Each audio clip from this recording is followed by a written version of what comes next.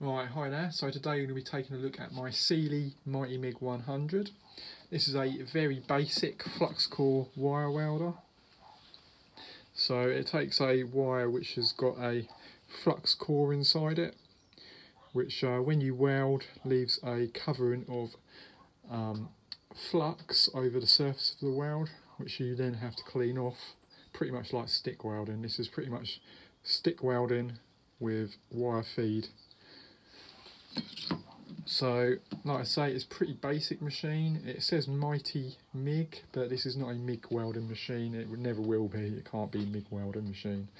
Um, so, it's got a power button, minimum, maximum button, which uh, you got 55 amps minimum, 90 amps max.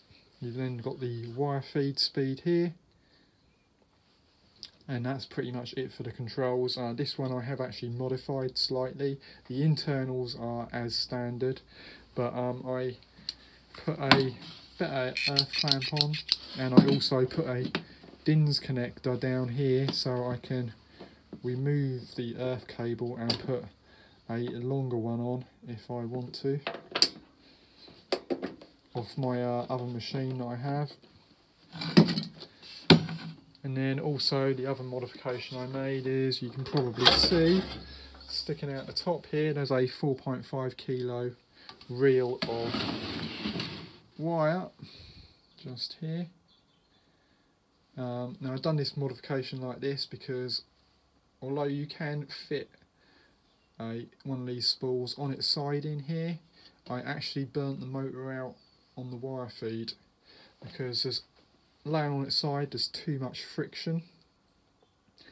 And yeah in the end that caused it to burn out in quite a short period so I had to replace the motor. That's basically the only trouble I've actually had with this machine. Um, it's pretty simple the um, spool holder I made it's just literally a piece of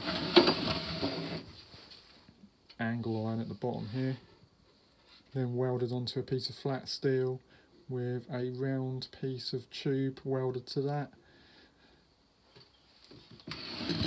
And then on this side to tension the spool is just a spring and then I've got a rubber grommet which comes from a uh, grommet for you know electrical um, outlets so the uh, wires don't get cut through and that's pretty much it and that just tensions the spool on here but yeah, that's the modifications I've done to it anyway, which don't actually affect the welding in any way. The best upgrade you can do is to put a decent clamp on, um, which has preferably got um, copper contacts on, so you get a good contact on whatever you're welding on. That does actually help with the quality of the welds. So the reason I'm making this video is because a friend of mine is thinking of buying this and I thought I would just show him uh, what it's like and how it welds. So we'll go do some welding with it and I'll show you some of the welds that I've done with it and then I'll give you my conclusion on this video. Um, I've actually had this for nine years now so I know it quite well. I don't use this machine all the time now. I've actually got a MIG welder, but it's not a quality machine, but it's a machine that does the job. I'm not saying it's a bad machine. It's uh, done a heck of a lot of work, this machine has, over the years, fixing things. Um, so if you want something just for sticking metal together, which is like, you know, reasonably thick metal, like uh, probably about 2 mil and over. You can weld thinner, but it does take some practice. Um, but yeah, it's not a bad welder. You know, it's lasted all that time, so yeah, it definitely lasts quite a while. So yeah, we'll get over to doing some welding now anyway. Right, so here I'm welding on the minimum setting and the wire speed is down to 1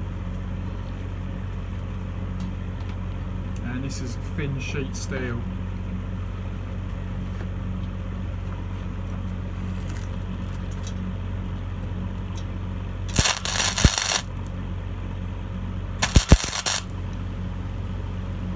So here um, I'm doing small spot welds on top of spot welds. Um, really, I'm going too fast. Really, you'd want to leave a few seconds in between the spot weld.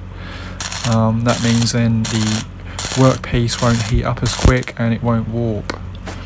Um, really, you'd want to do like a centimetre at a time and then leave that area to cool down for a few minutes and go to somewhere else if it's um, a uh, bigger piece of material that you're doing. Also, um, when you do the um, short welds, you really want to clean in between um, finishing and starting. That way you'll get a better weld quality and you won't um, get slag inclusion in the weld.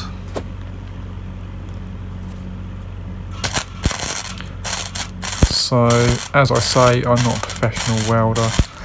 Um, I learnt, learnt myself how to weld, so take anything I say with a pinch of salt really. Alright, this is 3.5 mil steel, just doing a butt weld. Comes out quite nice. Um, the wire speed was on 6 and it was on max on the uh, amperage setting.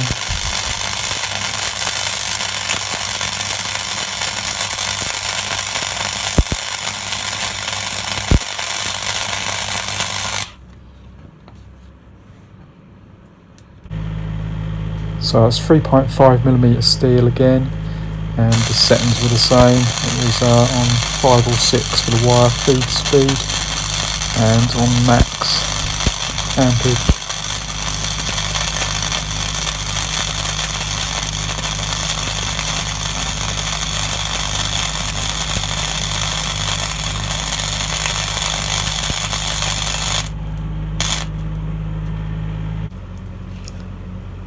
Right, so this was just uh, laying some beads down see how well they come out.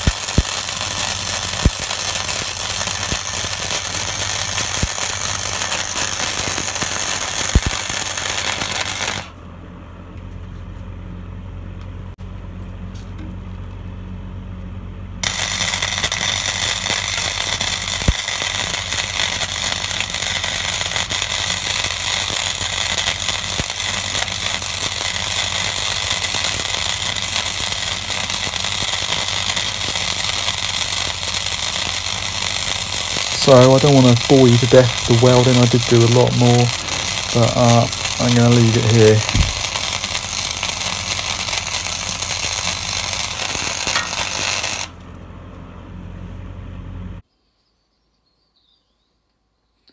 Okay, so let's take a look at the um, welds on the fin steel.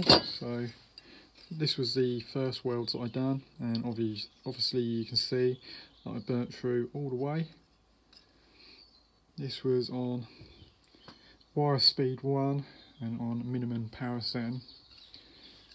Uh, second bead along here, not too bad.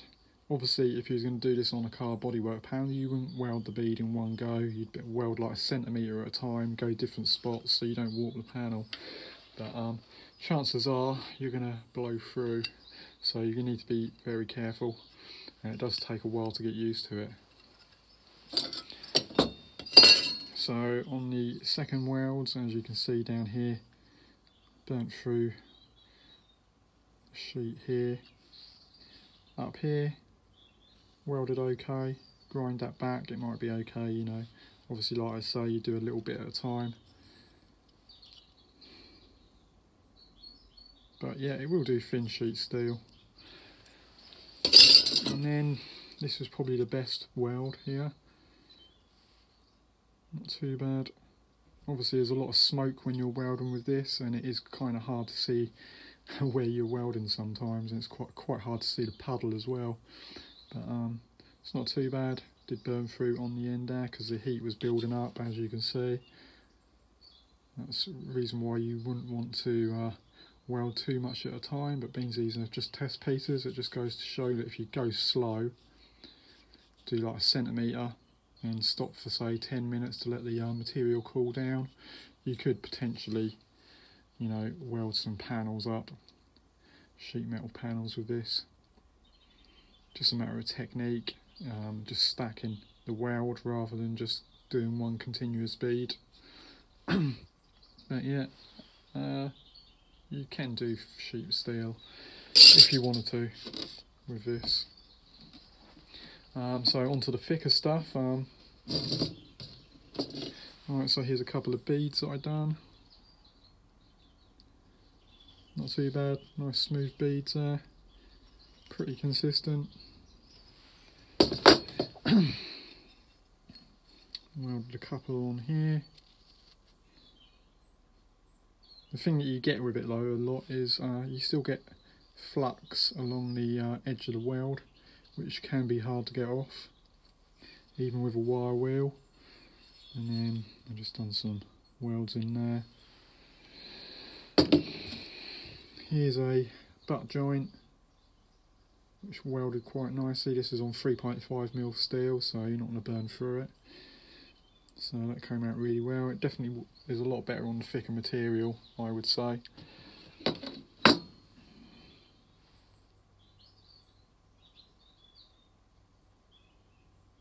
As you can see there's all that spatter that you would need to clean off. Inside corner joint which isn't too bad.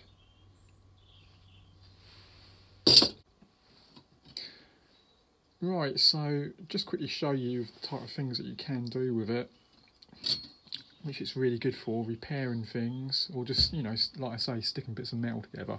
This is a spade, bit dirty. Um, this is a spade which I repaired a while back now with the flux core welder here. And um, it literally, the wooden handle snapped on it.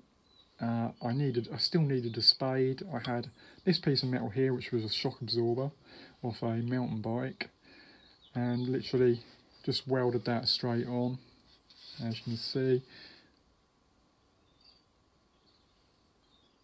Not too bad, but you know, it's a bit crusty, but it's held up. I've done quite a lot of work with it since, and it's, you know, it done the job, and that's what this welder is about, you know, it's, you can repair stuff with it, you know, you can stick bits of metal together, and uh, that's what it's good at.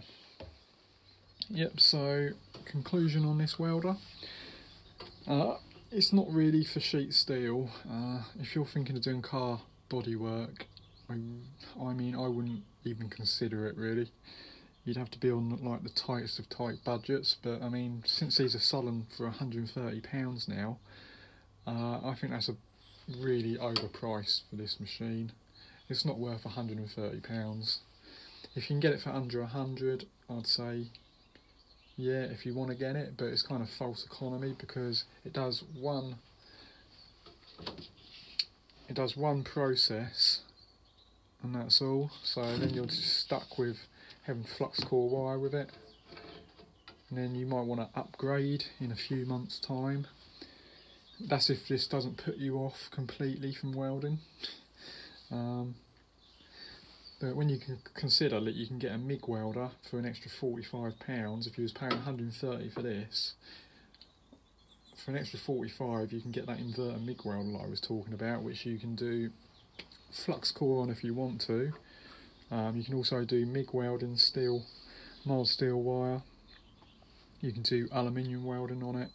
Stick a spool of aluminium in there and some argon gas. And you can weld aluminium if you want. And then you've also got the uh, stick welding feature on that as well. So, you know, you've got two machines in one. You've got a stick welder and a MIG welder in one.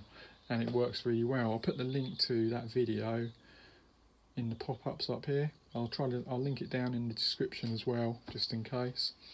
But yeah, I mean honestly, I wouldn't particularly buy this if you can save up a little bit extra and get uh, that inverter MIG welder that I was saying about. it. I think it's probably the well, it is the cheapest on the market anyway, that's for sure. But I wouldn't say it was bad. I've had it for two years and it's it's pretty much been the best welder I've had. I've had quite a few welders, MIG welders and that, and it's definitely the best one that I've had.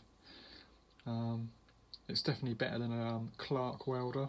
or a Sealey Mighty Mig 150 or a lot of the uh, the um, cheap Draper units as well. Um, definitely a lot better than them. But um, yeah, it is a good welder, but I would definitely consider saving your money up and buying something slightly better because uh, you'll just there's just more scope for learning in the future with different welding processes. I think with a MIG welder. so yeah, I'll put a link in the video link up there, and I'll put a link in the description just in case.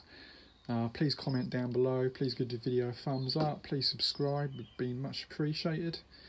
And thanks very much. Uh, take care, everybody. And see you next time. Bye.